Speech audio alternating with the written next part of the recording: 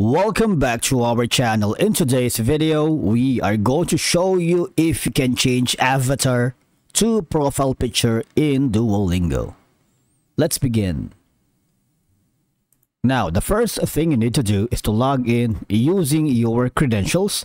If this is your first time in Duolingo, click on the sign up option and from here just follow the on-screen instructions and you're good to go. Now, once you are here in Duolingo, the term avatar is used to refer to your profile picture.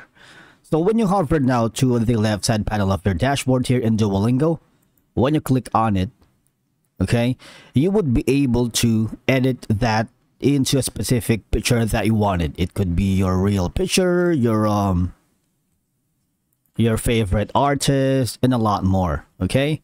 Now, the question is can you change avatar? Because when you click on your profile picture here, click on the pencil icon, right? So this is going to be your avatar. In the past, basically, if you click on the picture, you would have an option to upload your own real picture here. But now they change it, Duolingo change it, and I'm not sure if it's a temporary thing, it's going to be a permanent. But right now, all you can do is change your avatar into different um, options. You have for skin tone, say for example, I'm going to change it into orange. You see that one? You can change the expression as well. The hairstyle you can change from that into this of course the accessories right? So you have a lot of options. If you can't change your avatar to a profile picture it's okay because you can customize it with so many options here right? Headwear.